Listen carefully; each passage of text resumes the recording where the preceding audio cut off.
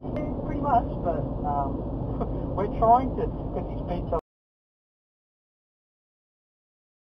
been quite a few facts, and obviously I've only got one question. There's a lot of questions I want to ask, but that Okay, one question. First thing, you Red, name with our one DD, young and lovely T, Fitzbridge. Lucky. Right.